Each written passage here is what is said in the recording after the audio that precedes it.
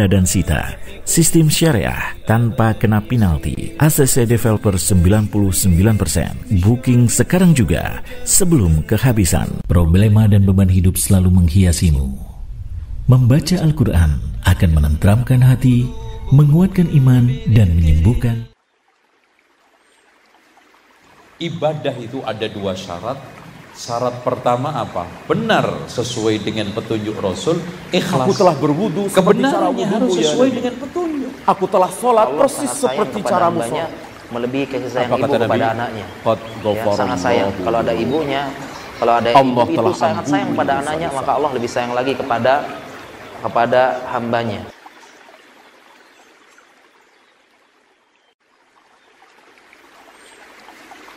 Ibadah itu ada dua syarat. Syarat pertama apa? Benar sesuai dengan petunjuk Rasul, ikhlas. Aku telah berwudu Kebenarannya harus ya. sesuai dengan petunjuk. Aku telah sholat persis seperti cara sholat. Melebihi kasih sayang ibu kepada Nabi? anaknya.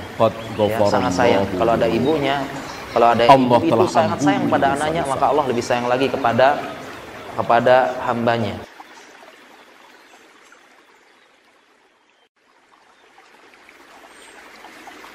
Ibadah itu ada dua syarat. Syarat pertama apa? Benar sesuai dengan petunjuk Rasul, ikhlas. Aku telah berwudu Kebenarannya harus ya. sesuai dengan petunjuk. Aku telah sholat Allah persis seperti cara sholat. Melebihi kasih sayang Apa ibu kepada Nabi? anaknya. Ya, sangat sayang. Kalau ada ibunya, kalau ada Allah ibu itu sangat sayang pada anaknya, maka Allah lebih sayang lagi kepada kepada hambanya. Assalamualaikum warahmatullahi wabarakatuh. Alhamdulillahi Rabbil Alamin Wassalatu wassalamu ala ashrafil mursalin Nabiina wa maulana Muhammadin wa ala alihi wa sahbihi ajma'in Wa ashadu an la ilaha illallah wahdahu la syarikalah Wa ashadu anna Muhammadan abduhu wa rasuluh Sallallahu alaihi wa ala alihi wa sahbihi wa sallam tasliman kathira Pemirsa yang kami hormati Alhamdulillah kita telah menyelesaikan pembahasan tentang syarat dan rukun jual beli. Dan sebelumnya kita juga telah memahami apa yang disebut dengan akad dan beberapa batasannya. Dan insya Allah untuk kesempatan kali ini kita akan membuat sedikit kesimpulan dari beberapa pelajaran yang telah kita sampaikan dan sekaligus menjawab beberapa studi kasus yang sudah kami sediakan studi kasus bisa ditampilkan di Facebook atau di fanpage ya. Baik. Di belakang saya ada papan tulis. Kita akan melihat uh, seperti apa kesimpulan dari apa yang sudah kita pelajari.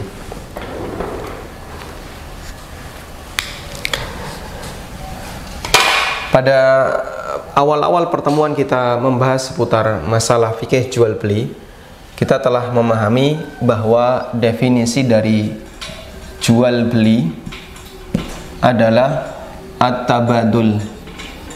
At-tabadul. Yang dimaksud dengan at-tabadul adalah tukar menukar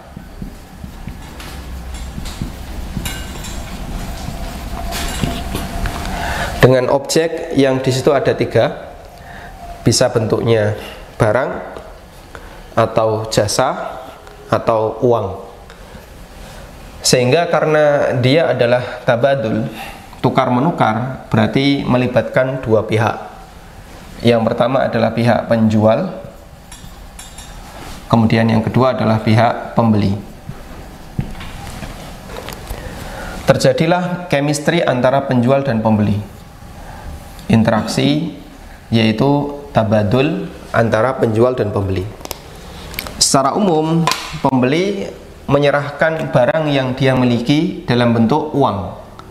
Pembeli menyerahkan barang yang dia miliki dalam bentuk uang. Barangnya pembeli adalah uang. Dan penjual menyerahkan barang yang dia miliki dalam bentuk barang. Kurang lebih seperti ini. Sehingga di situ ada yang diserahkan dan ada yang diterima. Ini kata kuncinya.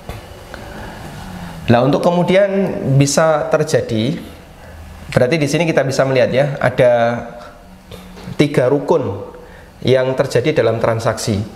Pertama adalah rukun pelaku, yaitu penjual dan pembeli. Yang kedua adalah rukun objek, uang dan barang. Yang ketiga adalah rukun berupa interaksi antara penjual dan pembeli yang kita sebut dengan sigot. Ada tiga unsur utama terjadinya transaksi seperti ini. Pertama adalah unsur subjek, penjual dan pembeli. Yang kedua unsur objek, uang dan barang. Yang ketiga adalah unsur interaksi yang diistilahkan dengan sigot. Nah, selanjutnya para ulama memberikan penjelasan agar tiga unsur itu menjadi sah ketika diberlakukan, maka di sana ada beberapa syarat. Pertama adalah syarat terkait subjek. Syarat terkait subjek. Dan kita telah sampaikan syarat terkait subjek ada dua. Pertama, subjek itu pemilik. Yang kedua, subjek adalah orang yang memiliki kelayakan dalam transaksi yang disebut dengan jais tasarruf yang disebut dengan jais tasarruf dan untuk bisa disebut memiliki kelayakan dalam mentransaksi ada tiga syarat barangkali masih ingat balik, berakal, dan dewasa, rasyid dewasa dalam arti dia mengenal nilai dari harta yang dia transaksikan Kemudian syarat yang kedua adalah syarat terkait objek. Objeknya ada barang, ada uang.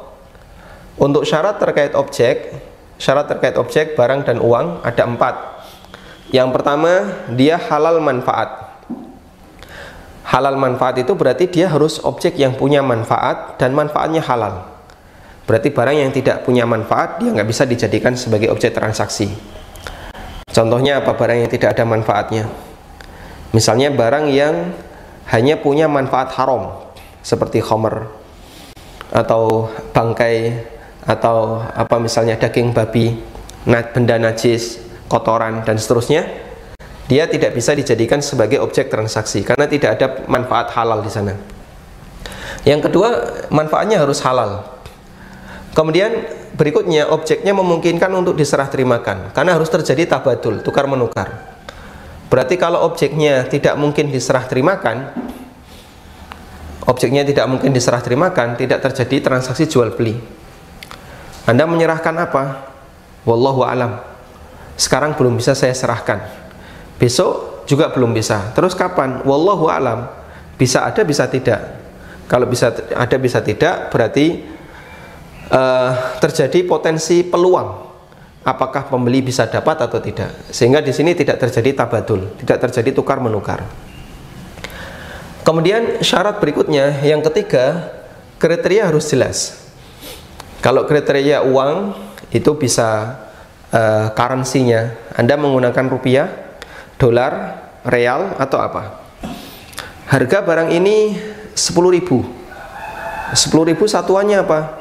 Ya, bisa dolar, bisa real, bisa rupiah bisa apa misalnya dolar Singapura bisa ringgit Malaysia nggak jelas harus ada kriteria yang jelas makanya di setiap uh, apa bandrol harga yang disebutkan dalam sebuah barang yang dijual di tempat-tempat internasional pasti akan disebutkan nilainya.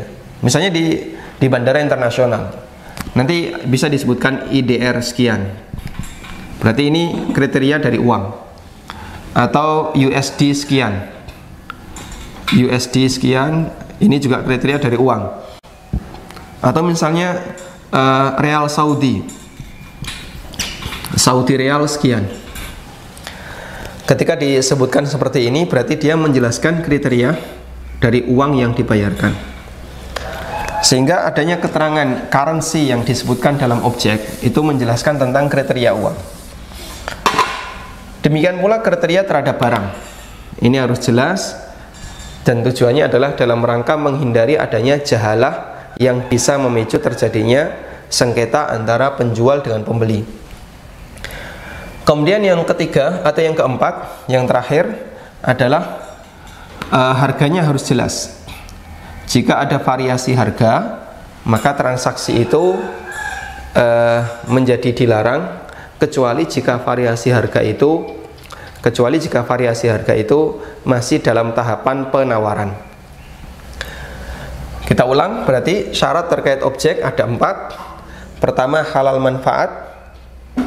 Yang kedua, yang kedua objek itu memungkinkan untuk diserah terimakan. Yang ketiga kriterianya jelas.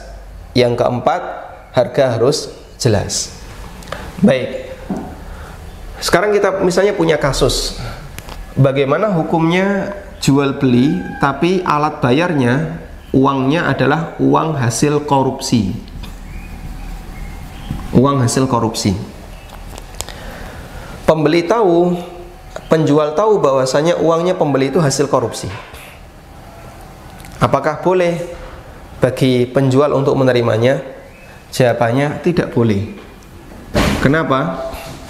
Uang hasil korupsi itu tidak halal manfaat Kok tidak halal manfaat?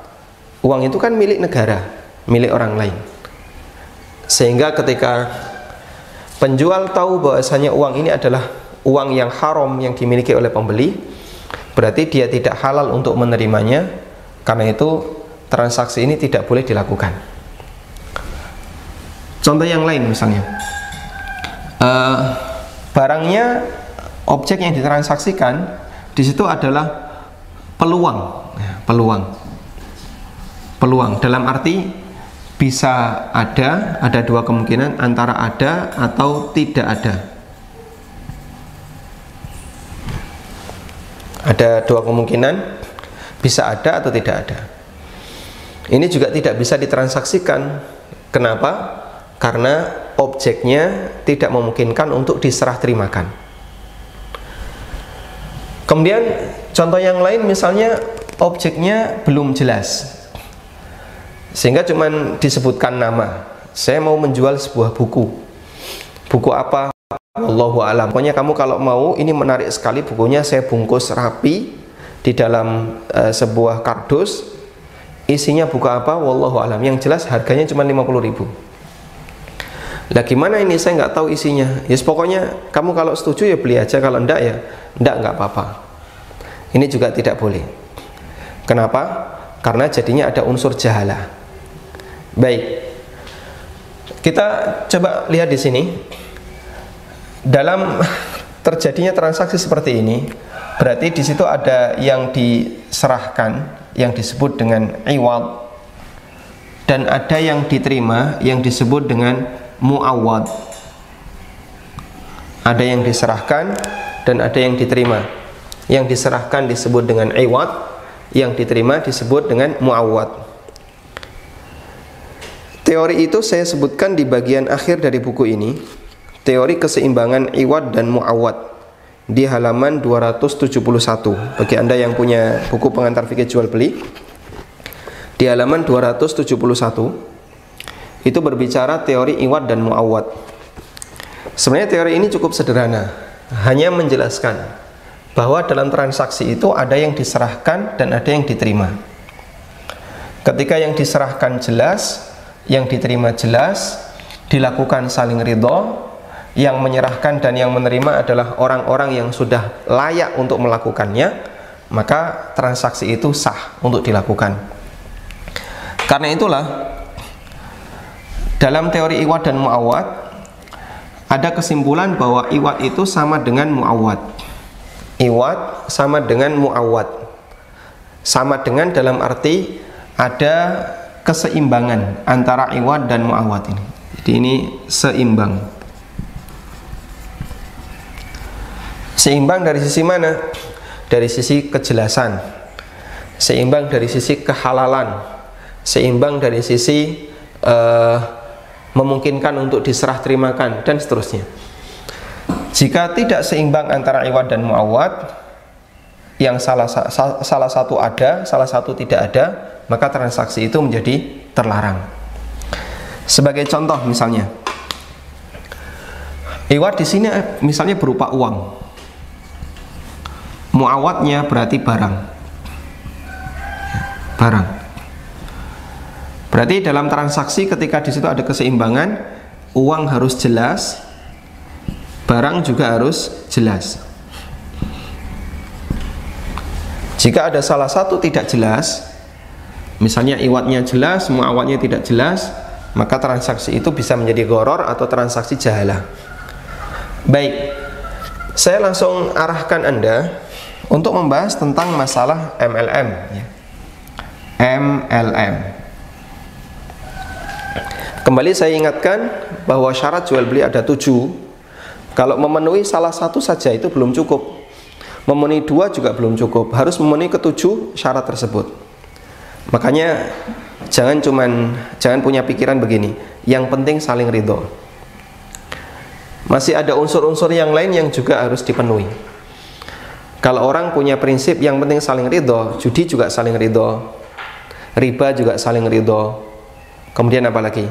E, transaksi jual beli barang haram juga saling ridho, jual beli khamar, pembeli bayar misalnya satu botol harganya 500 ribu, lalu e, pembeli mendapatkan segelas khamar, dia merasa bahagia dengan mendapatkan segelas khamr dan itu dilakukan saling ridho tapi tidak memenuhi ketentuan dan syarat yang lain. Sehingga tidak boleh hanya sebatas mempertimbangkan salah satu syarat tapi membuang syarat yang lain. Baik kembali ke sini. Tentang MLM tentang MLM MLM ini secara umum terjadi uh, pencampuran antara dua objek. Yang pertama adalah objek barang yang kedua adalah objek jasa. Ada barang ada jasa. Sehingga di situ ada dua uh, akad yang dilakukan. Pertama adalah akad jual beli untuk barang. Yang kedua adalah akad ijarah untuk jasa. Yang pertama akad jual beli, yang kedua akad ijarah. Karena akad ijarah itu jasa. Tayyib. Sebenarnya ada dua akad seperti ini sah-sah saja selama keduanya unsurnya jelas. Barang jelas, jasa juga jelas. Tapi ketika salah satu tidak jelas, maka kembali kepada tadi ya, iwat dan muawat ketika tidak seimbang, yang satu jelas, yang satu tidak jelas, maka jadinya transaksi goror atau transaksi jahala. Nah, di antara yang sering terjadi itu begini. Yang sering terjadi adalah menjual peluang. Iwatnya dalam bentuk uang. Muawatnya dalam bentuk peluang.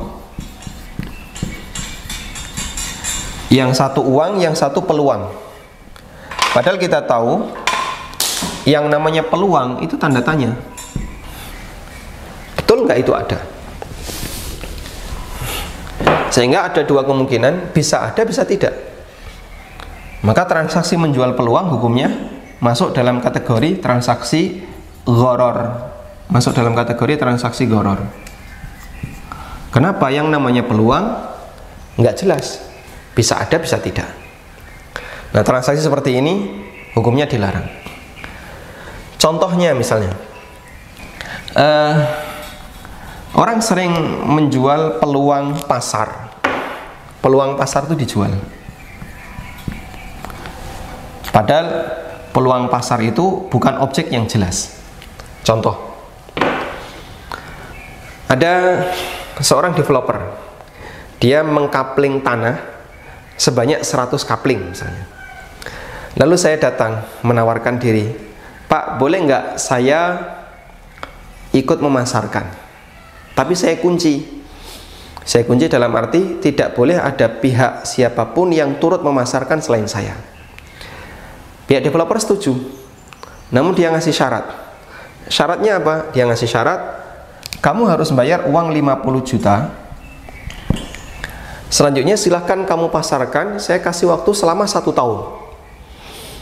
Kalau dalam waktu satu tahun kamu dapat buyer closing, maka setiap satu unit yang berhasil kamu jual, kamu saya kasih misalnya 5%.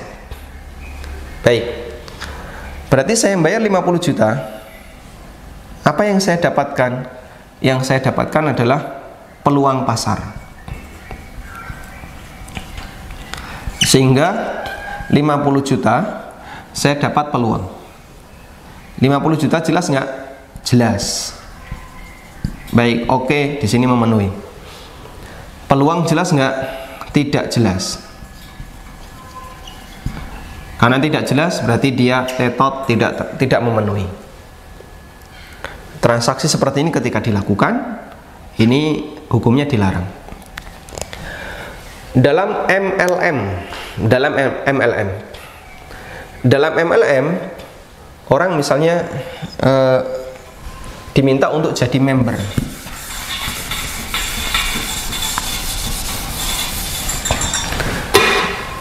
Di situ kan pasti ada gini ya, biaya member ini MLM biaya member. Kemudian dapat uh, manfaat tertentu. Baik. Ini secara umum apa? Interaksi yang terjadi dalam dunia MLM member dapat manfaat Berarti kalau kita gunakan teori ini, iwatnya yang mana? Biaya member, ini iwat. Ini iwat yang diserahkan oleh konsumen. Ini adalah muawat.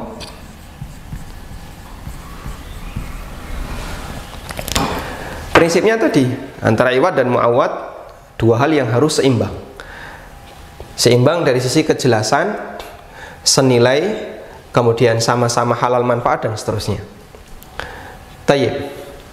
Sekarang coba kita lihat. Ketika dalam sebuah MLM setiap agen diminta untuk membayar 2 juta. Diminta untuk membayar 2 juta. Maka nanti dia bisa mendapatkan manfaat misalnya eh, apa misalnya? Starter kit. Starter kit dia dapat kit perlengkapan misalnya buku-buku motivasi atau CD atau apalagi uh, atau flash disk yang isinya video-video motivasi. Yang kedua ini intinya perlengkapan marketing ya. Yang kedua dia dapat fee jika bisa mencari downline. Dia bisa dapat fee downline. Yang ketiga mungkin dia dapat perlengkapan. Perlengkapan. Apa misalnya? Spanduk. Atau brosur. Atau dan aneka yang lainnya. Baik. Nilai 2 juta. Nilai 2 juta ini kalau anda pertimbangkan apakah ini sebanding dengan yang ada di sini? Ini iwat ini muawat sekarang apakah sebanding iwatnya 2 juta muawatnya ada tiga. Starter kit fee downline perlengkapan. Diukur sekarang. Oh starter kit paling biayanya untuk perlengkapan-perlengkapan itu perlengkapan marketing paling cuman misalnya 50 ribu. Perlengkapan ada spanduk ada brosur dan aneka barang-barang pelengkapnya ini mungkin cuman 500 ribu Berarti sisanya fee downline, fee downline ini sisanya ya. Sisanya berarti berapa? Satu juta empat ratus lima puluh. Ya, satu juta empat ratus lima puluh ribu. Baik. Anda bisa perhatikan starter kit itu jelas. Barangnya ada kan? Jelas. Ini jelas. Bagian ini jelas. Perlengkapan juga jelas, barangnya ada jelas? Jelas. Sekarang yang tengah ini. Fee dapat downline. Fee dapat downline. Jelas nggak dapat downline ya kalau kamu berusaha sekuat tenaga pasti dapat. Kalau kamu ndak ya nggak dapat. Coba dikasih bawahi pasti dapat itu benar nggak?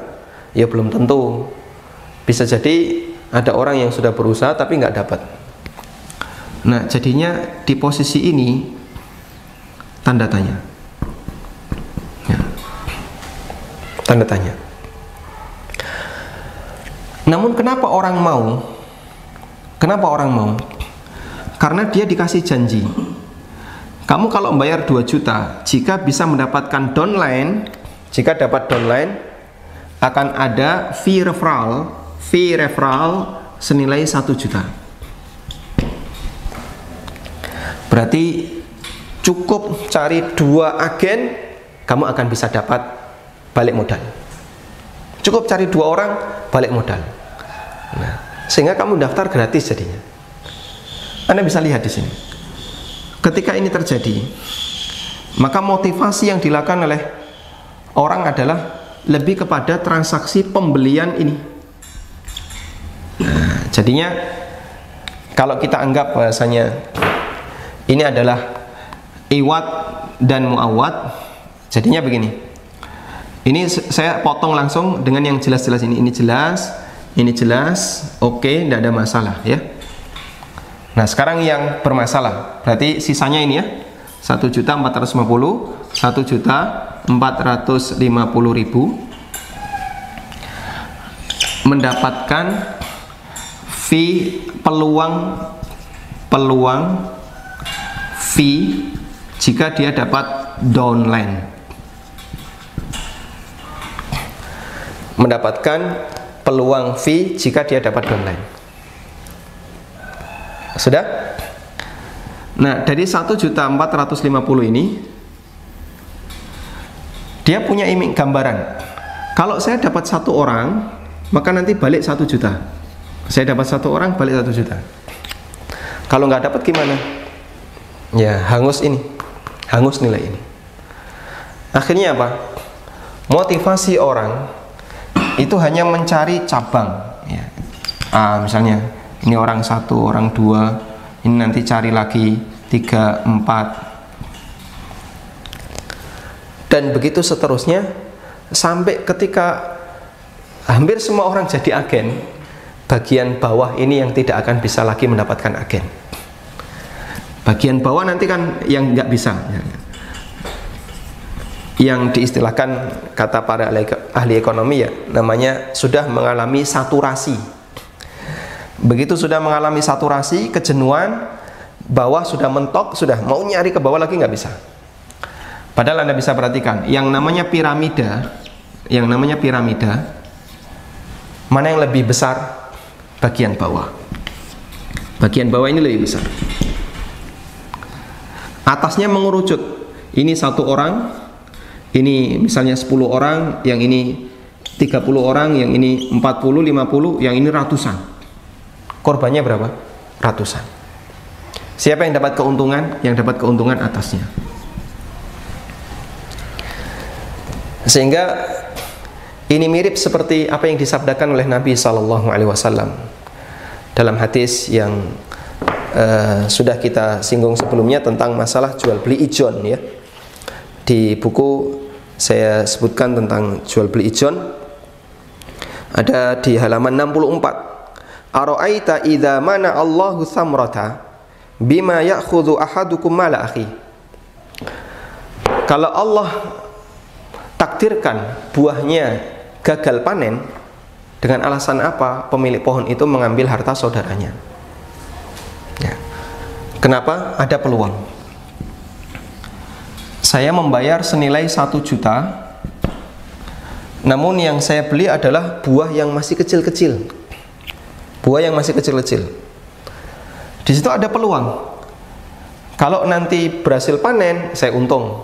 Kalau gagal panen, saya rugi satu juta. Nabi SAW bertanya, dengan alasan apa, wahai kamu penjual, mengambil uang satu juta dari saudaramu? Sehingga kembali ke sini. Dengan alasan apa, wahai kamu upline, mengambil satu juta dari para downline yang dia sudah nggak bisa lagi cari cari downline? karena sudah mengalami saturasi, sudah mengalami kejenuhan. Begitu jenuh, mau cari ini mana lagi saya bisa cari agen? Wah, kayaknya sudah tidak ada, Pak. Di sini semuanya sudah jadi agen. Ya sudahlah, istri saya saya jadikan agen. Ya sudahlah, nanti tetangga sebelah saya saya jadikan agen. Sehingga dalam satu perumahan ada dua agen barang A Terus siapa konsumennya? Nggak ada, kecuali dia sendiri. Karena itulah model seperti ini menjadi terlarang karena dalam goror adanya peluang itu pasti pilihannya dua kalau enggak plus untung rugi minus. Ketika jual beli ijon itu dilakukan Nabi Shallallahu Alaihi Wasallam melarang dan beliau kasih alasan. Jika Allah Taala takdirkan dia mengalami rugi atas alasan apa dia mendapatkan uang satu juta?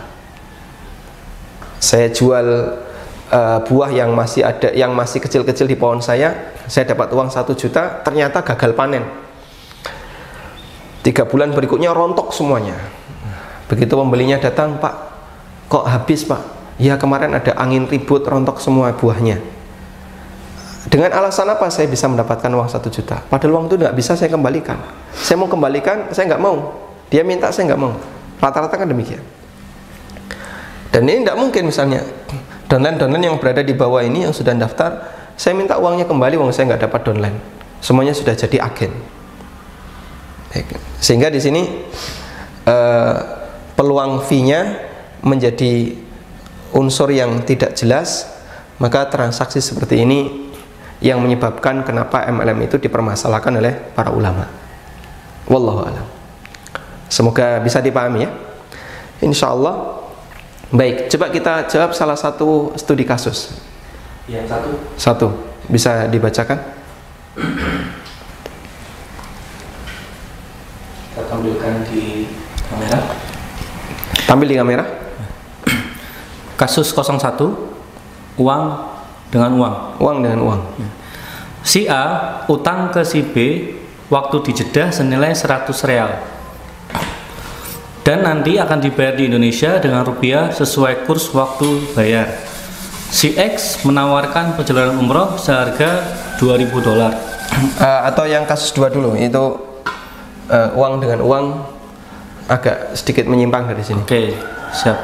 Kasus dua, bolehkah dijual kembali? Ya. Yeah. Penjual dan Wati telah melakukan akad terhadap barang A dengan harga 1 juta.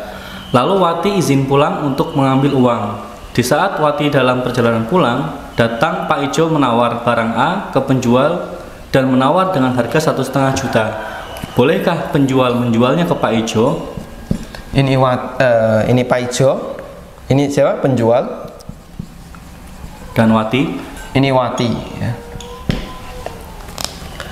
Sudah? Sudah. Kasusnya Wati sudah melakukan akad. Begini ya yeah. chemistry sudah terjadi dan kita punya kaidah kalau sudah terjadi akad maka terjadi perpindahan hak milik meskipun belum terjadi serah terima. Meskipun belum terjadi serah terima. Uangnya belum diserahkan oleh Wati. Saya kasih titik-titik. Ini nilainya satu juta. Barangnya juga belum diserahkan oleh penjual. Ini misalnya barang X. Nah ketika datang Paijo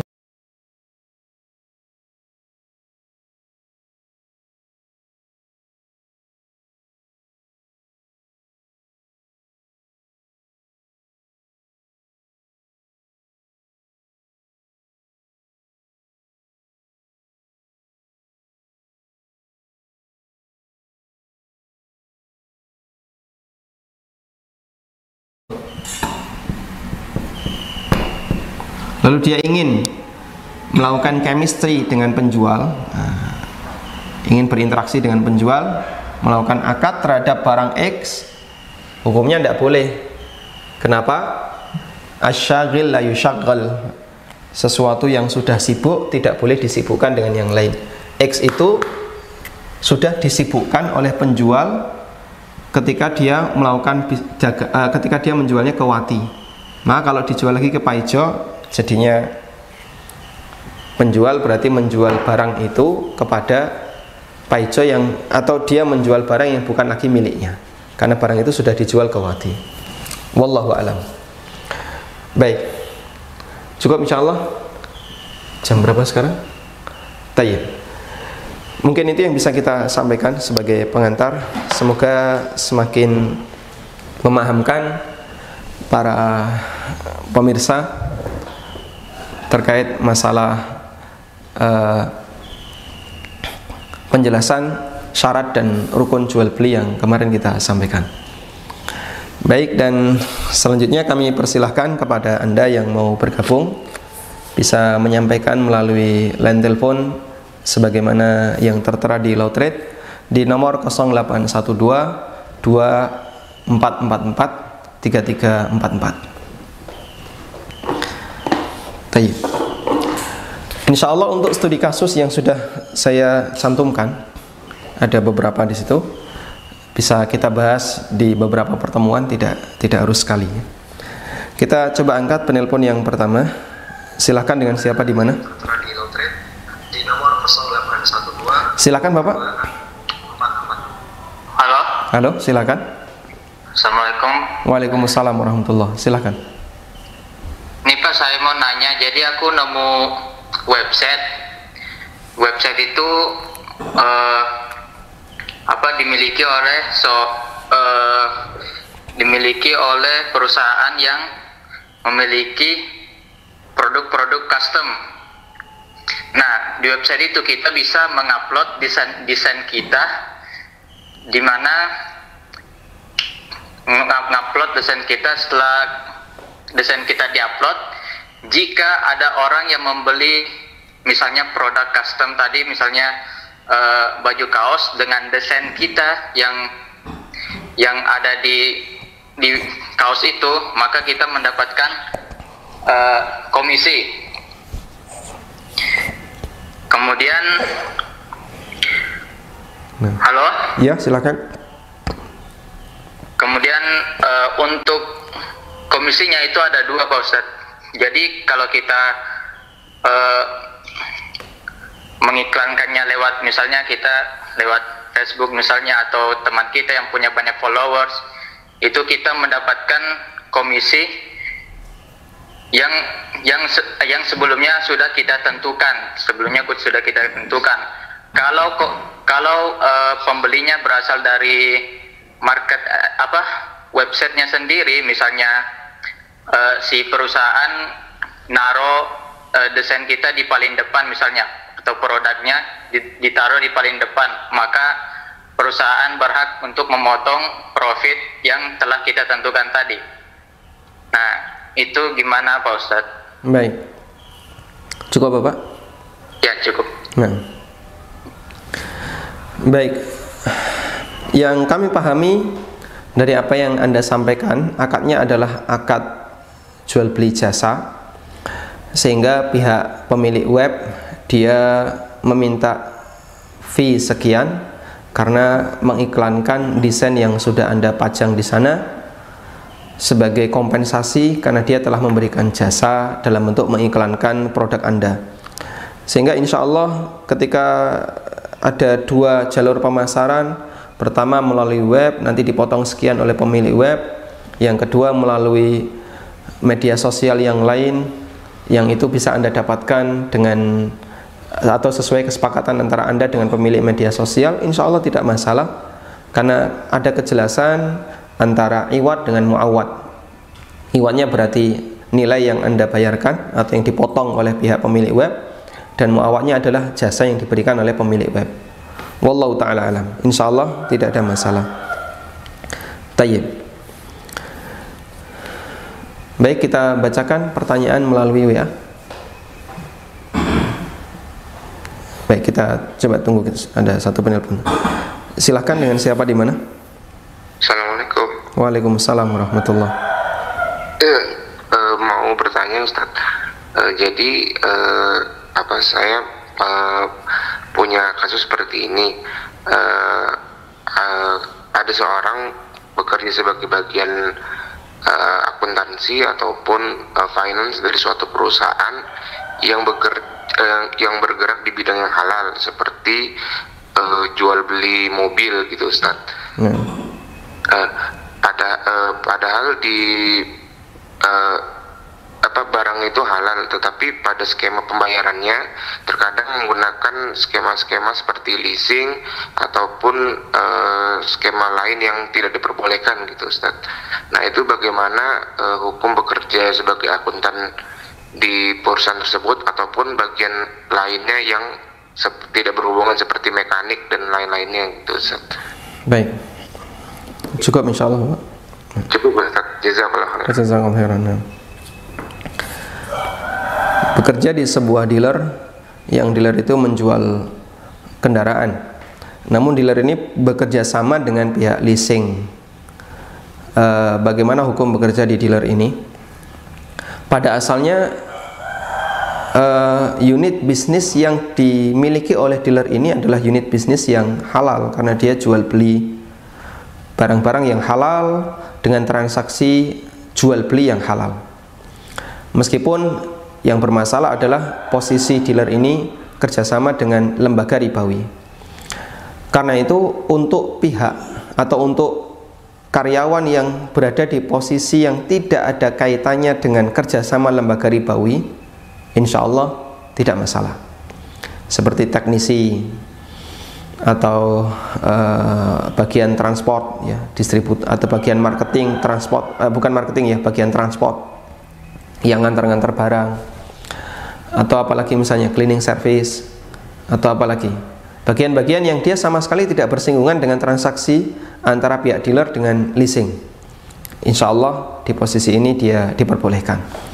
Tapi kalau dia bersinggungan misalnya bagian marketing sehingga nanti ketika dapat buyer diarahkan Bapak kalau mau kredit silahkan melalui leasing A otomatis dia selalu mengarahkan transaksi riba.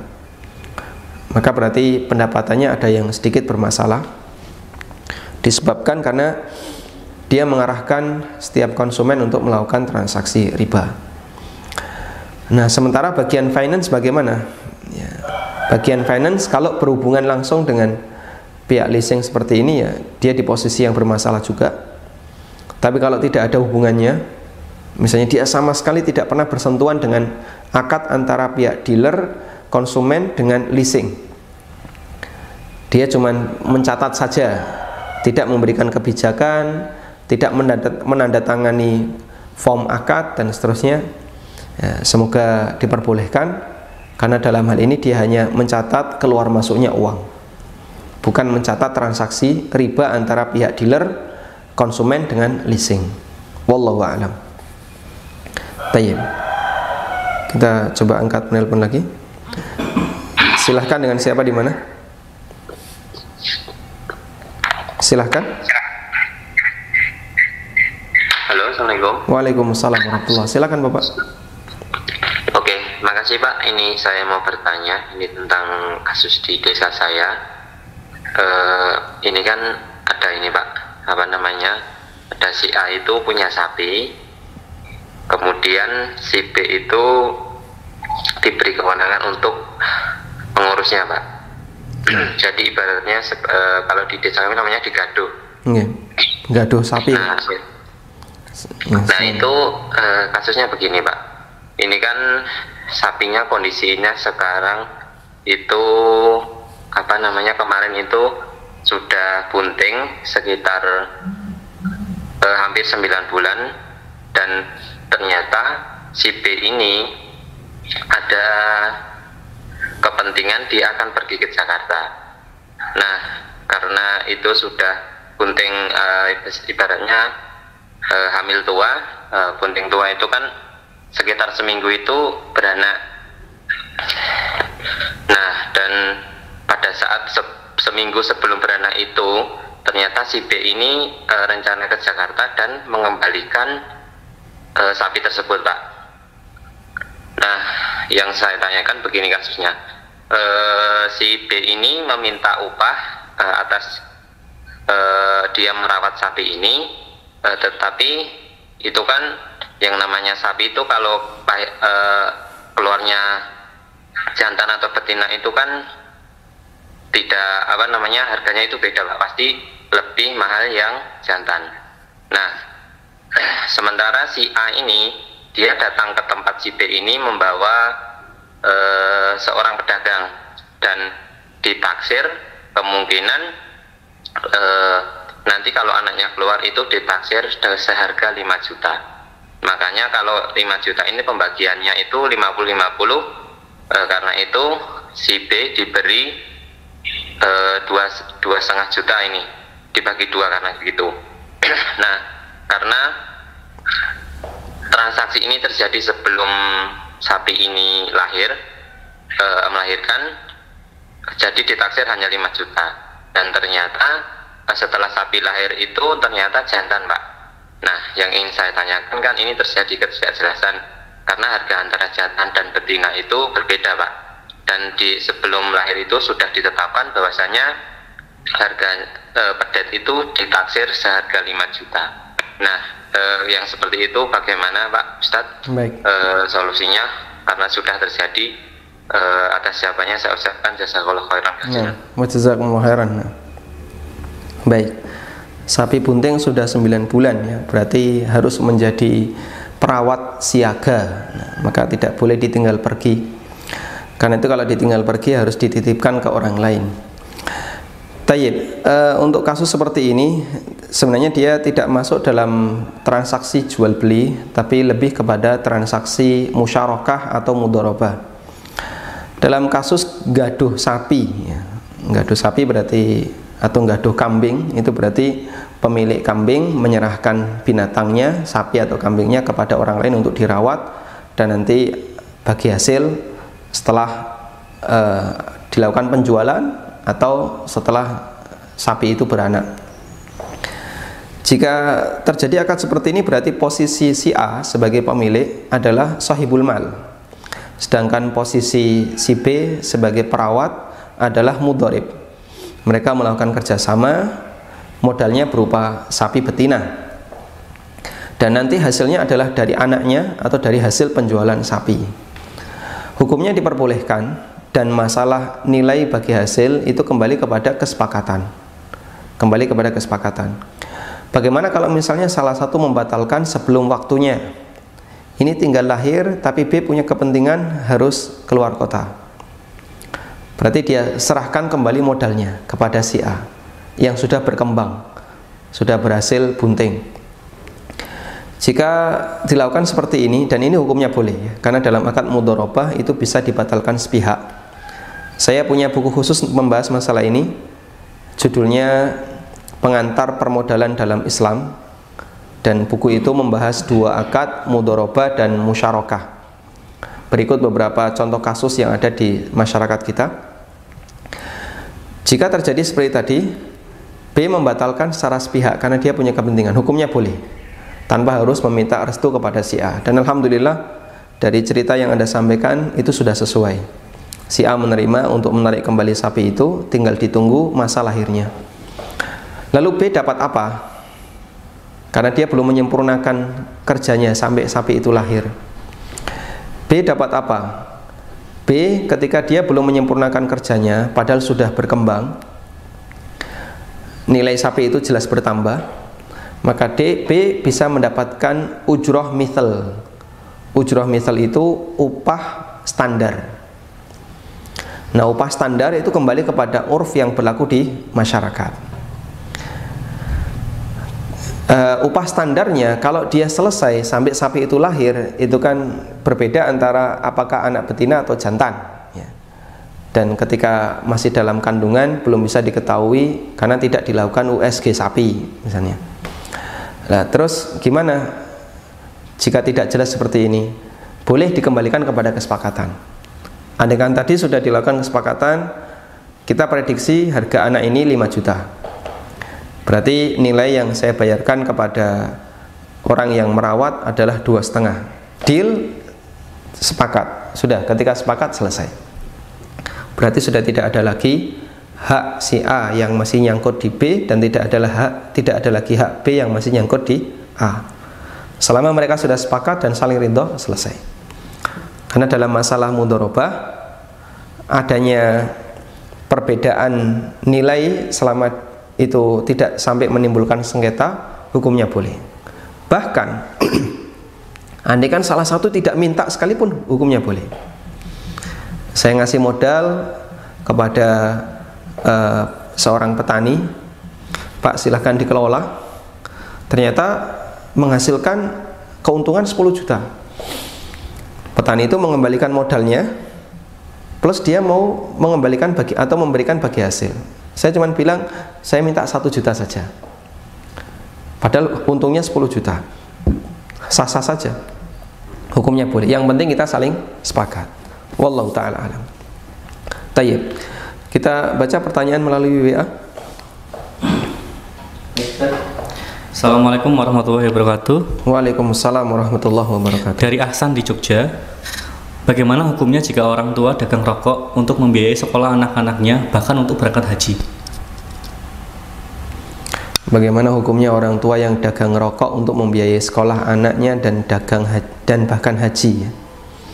Kalau sampai bisa haji itu berarti sudah melebihi di atas pendapatan normal dalam arti dia pendapatan orang kaya. Wallahu taala alam Pertama yang perlu kita ketahui adalah apakah orang tua Anda tahu kalau rokok itu haram? Kalau dia tahu, beliau tahu sementara beliau tetap dagang rokok, berarti sumber pendapatan beliau haram. Kalau beliau tidak tahu, maka sumber pendapatan beliau statusnya halal. Karena jual beli barang haram itu para ulama memberikan rincian. Jika dia tahu kalau itu haram maka pendapatannya haram. Dan jika dia tidak tahu kalau itu haram misalnya dia nggak pernah ngerti dan belum pernah mendapatkan penjelasan eh, belum pernah mendapatkan penjelasan kalau barang ini haram maka status pendapatan itu halal. Nah bagian ini yang perlu diketahui terlebih dahulu.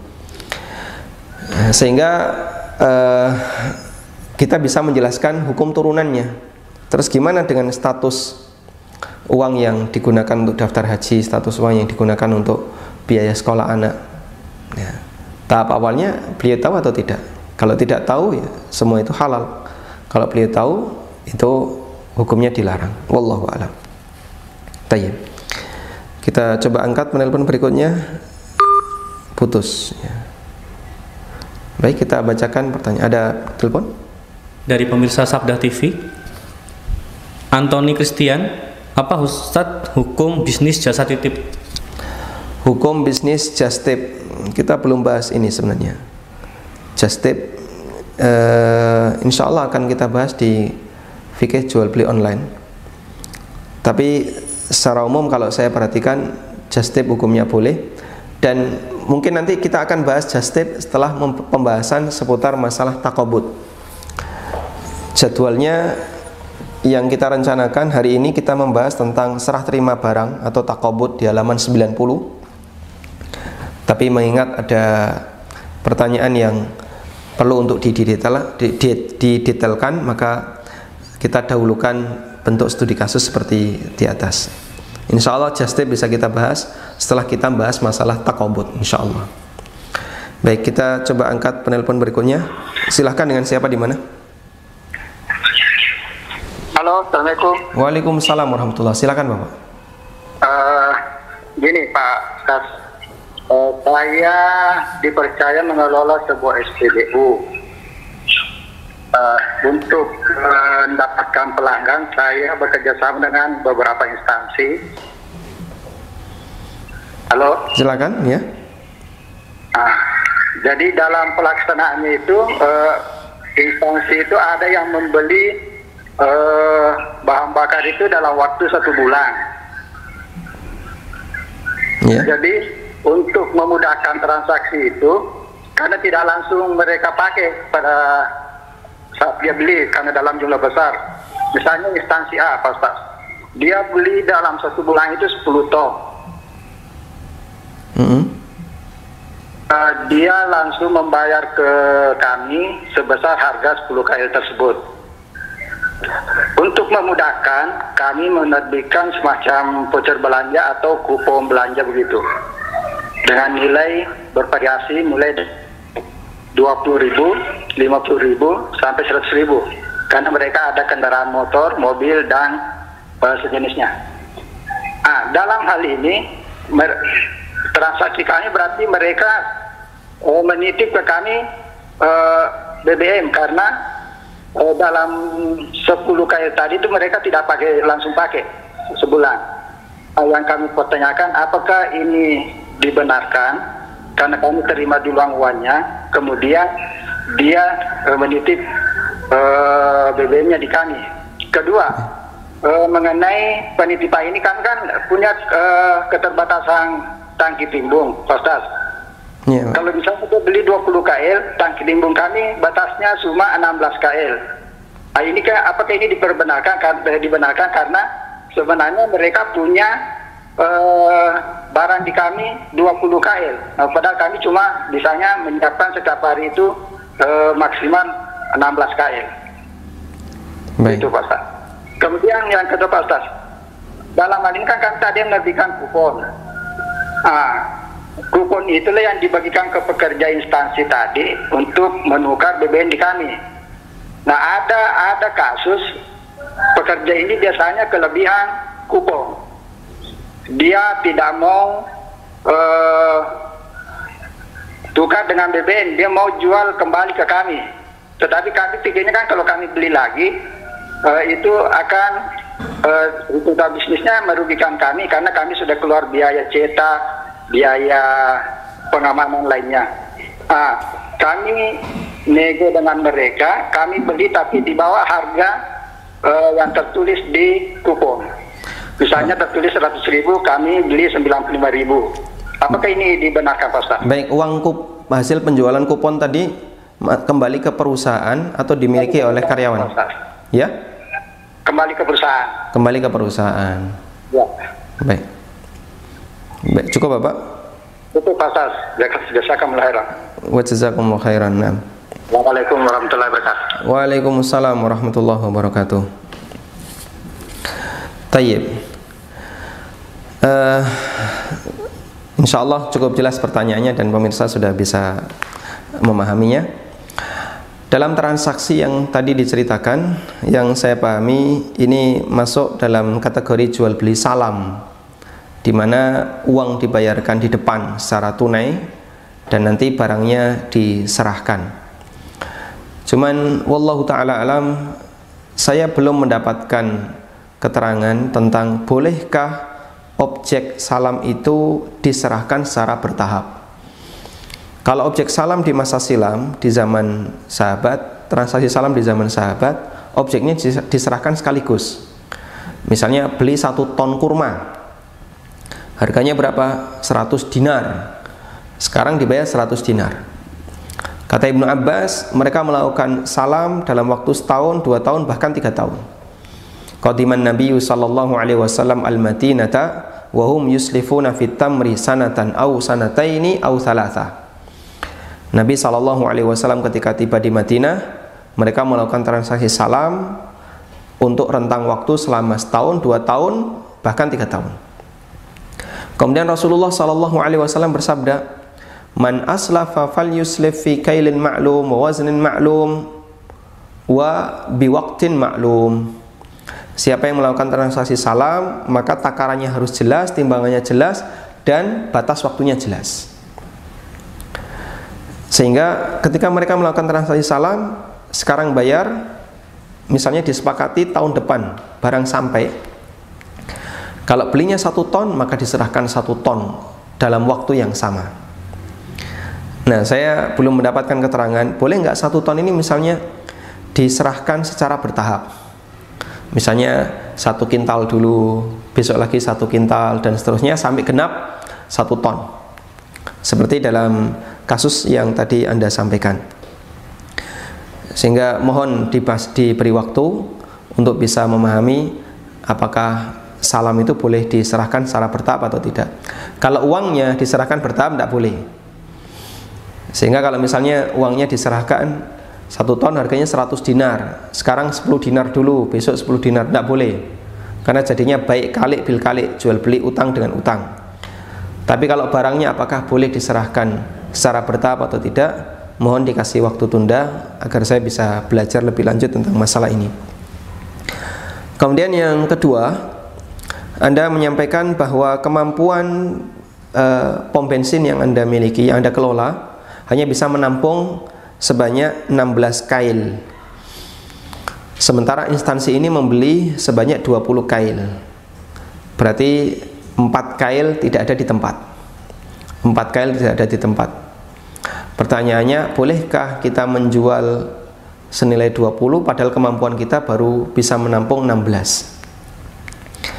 Jika memang terjadi transaksi jual beli, hukumnya uh, Anda hanya boleh menjual senilai maksimal yang tersedia, yang available. Yang tersedia di tempat kami hanya 16, berarti akadnya untuk 16 kail. Sedangkan yang empat kan belum kita miliki, yang empat belum Anda miliki. Karena itu belum dimiliki, mengingat belum dimiliki berarti belum boleh ditransaksikan. Sehingga ketika dia beli 20 kail, yang Anda terima adalah saya hanya sedia 16. Yang empat belum bisa kita akadkan, nanti akadnya ditunda. Itu kalau kemudian bensinnya sudah ada. Baik, ini terlepas dari masalah di atas tadi ya. Apakah boleh diberikan secara bertahap atau tidak? Kemudian yang ketiga mengenai buyback dibeli kembali oleh pihak penjual. Apakah ini boleh? Ini dibahas oleh para ulama dalam masalah ikolah dan di buku yang kita jadikan sebagai referensi ikolah saya bahas di hak khiar ada pembahasan tentang masalah ikolah mengenal ikolah halaman 125 halaman 125. Apa itu ikola? Ikola adalah membatalkan transaksi yang sudah dilakukan. Sudah beli, tapi karena nggak dipakai dikembalikan. Itu namanya ikola. Sehingga dilakukan pembatalan tapi tanpa alasan. Nah, mengenai hukumnya, ikola tidak wajib tapi dianjurkan. Sehingga boleh-boleh saja pihak perusahaan Anda membeli kembali Nah, apakah dengan harga yang sama ataukah harga yang berbeda? Bolehkah ada potongan? Ulama beda pendapat dalam masalah ini. Sebagian membolehkan dan sebagian mensyaratkan harus sama. Dulu belinya per liter sekian ya dikembalikan per liter sekian. Namun sebagian ada yang membolehkan. Dulu per liter 100 ribu, sekarang saya beli ya 95. Ada yang membolehkan demikian. Ada khilaf dalam masalah ini. Wallahu taala alam. Tayyib. Kita coba angkat penelpon berikutnya. Silahkan dengan siapa di mana? Iya, Assalamualaikum Ustaz. Waalaikumsalam warahmatullah. Uh, saya bertanya Ustaz, saya uh, jadi marketer, marketer online gitu kan. Terus ada sebagian supplier yang nyuruh saya tuh transfer dulu ke saya, katanya ambil laba dulu katanya gitu kan. Jadi baru nanti saya sisanya uang yang sejumlah supplier tersebut Ustaz. Jadi itu hukumnya gimana ya? Terus yang kedua, uh, kalau misalkan kita maklarin karin lagi itu boleh nggak Ustadz ya? ya terus yang ketiga lagi ada kalau penerima pengirim atas nama kita gitu kan jadi saya sebagai marketer itu boleh nggak Ustadz ya? Ya udah segitu aja Ustaz. Assalamualaikum warahmatullahi wabarakatuh. Waalaikumsalam warahmatullahi wabarakatuh. Baik. Saya jawab sebisanya saya menangkap pertanyaan ya karena terlalu cepat tadi. E, posisi marketer kemudian Anda mentransfer terlebih dahulu ke supplier karena supplier ingin mendapatkan keuntungan yang lebih cepat. Pertama, jika marketer posisi Anda adalah wakil dari pihak supplier, dalam arti Anda sudah ditunjuk secara resmi oleh pihak supplier untuk memasarkan barangnya. Insya Allah tidak masalah. Berarti dalam hal ini uh, apa? Atau begini.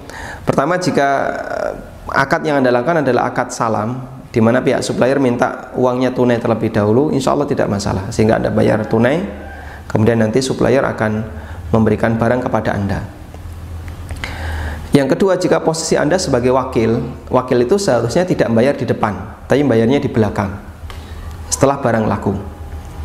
Sehingga jika akad Anda dengan supplier adalah akad wakalah, Anda dijadikan sebagai wakil, maka seharusnya bukan bayar dulu tapi bayarnya di belakang. Namun wallahu taala alam kata kuncinya begini. Selama supplier sudah memiliki barang itu berhak dia berhak mendapatkan pembayaran. Baik di awal maupun di akhir. Di awal berarti bisa menggunakan skema akad salam sehingga Anda bayar dulu kemudian barangnya atau kalau dia sudah punya barang berarti bisa langsung bayar dulu dengan akad jual beli biasa. Atau yang kedua bisa juga menjadi wakil supplier sudah punya barang kemudian anda e, memasarkan nanti anda dapat fee sesuai yang disepakati. Insya Allah ketika supplier sudah punya barang baik pembayaran di depan maupun di belakang tidak ada masalah. Wallahu ta'ala alam. Marketer kemudian punya cabang dipasarin ke tempat yang lain kalau barang itu sudah Anda pegang, tidak masalah. Tapi kalau barang itu belum Anda pegang, ya Anda tidak boleh menjual ke orang lain sebelum Anda menerima barang itu. Wallahu taala alam, mungkin itu yang bisa kita sampaikan. Semoga menjadi kajian yang bermanfaat dan insya Allah kita akan lanjutkan tema berikutnya tentang masalah takobut plus nanti kita tambahkan beberapa studi kasus. Wassallallahu ala wa ala alihi wa wa sallam wa akhiru da'wana alhamdulillahi rabbil alamin. Wassalamualaikum warahmatullahi wabarakatuh.